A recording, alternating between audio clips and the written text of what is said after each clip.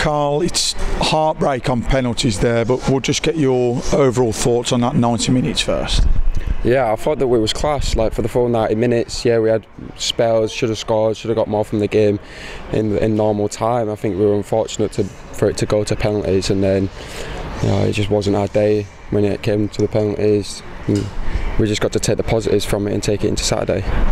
And there are plenty of positives that you can take from this kind of performance, though, isn't there? Yeah, there's loads, loads. Like we're building each week, so and then from last Saturday to now, we're building, and we're just going to keep going in that same direction. So it's, I'm looking forward to Saturday. I'm looking forward to, you know, getting some points on the board as well.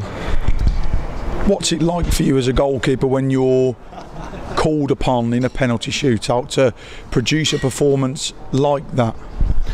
Oh, it's, some can, some can't. Like um, all the goalkeepers, we love penalty shootout. We love to be the hero. Um, it's unfortunate that we couldn't. I couldn't be it today, but um, you know it is what it is, and fair play to Doncaster. But we are, we just got to take the positives now.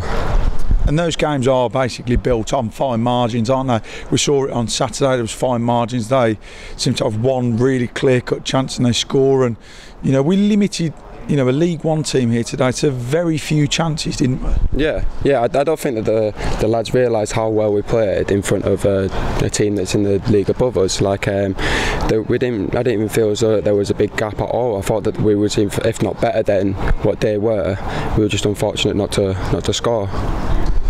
And what's it been like for you? That's two games now in front of a a crowd. They built up such a fantastic atmosphere here today at the Banksies. What's that been like for you experiencing that? Yeah, it's class. Like on Saturday was the most I've ever played in front of, and then today in front of all the home fans, it was class, especially at the end. You know, just the little stuff like that. It, it's massive for the players. We'll just gain confidence from that, and then we'll show it when we're playing. How much do they, you know, boost you as players. You know, sometimes when you need that extra five percent to possibly get over the line, it's just a, a real pick me up, isn't it? Yeah, massive, massive. Whenever the crowd just, whenever we all just go through the roof, then it's it gets shown onto the pitch. Like we'll show that everybody gets confidence, everybody wants to get on the ball, and then it shows because we'll get chances after it.